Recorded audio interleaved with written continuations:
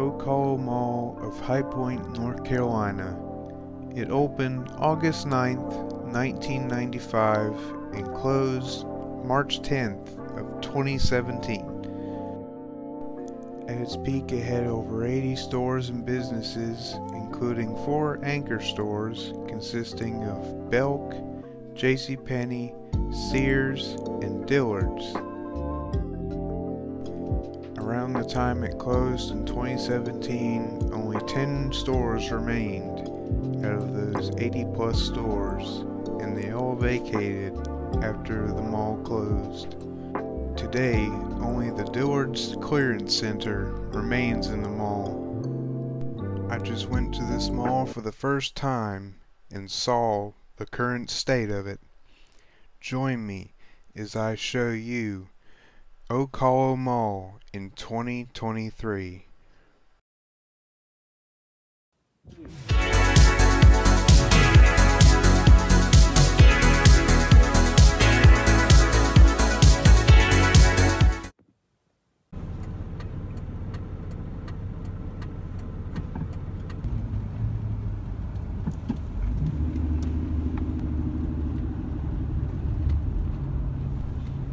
So at this mall, I wasn't able to go there before it closed.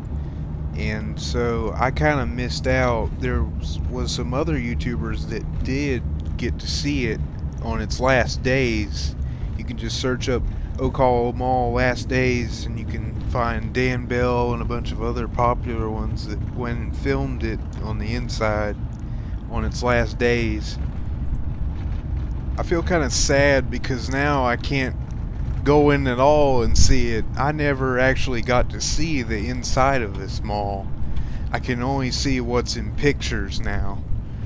Currently, High Point University seems to be taking over the whole thing and making it a university campus of some sort because there is security patrolling the parking lot. They got fences up everywhere and they got doors open to certain anchor stores and people are coming in and out and I think they're working on something in there but I don't exactly know what. And so because of that I wasn't able to film the inside but I did get a pretty nice shot of the outside so I'm gonna be quiet now so y'all can enjoy this outside look in 2023 of Oak Hollow Mall. Cue the music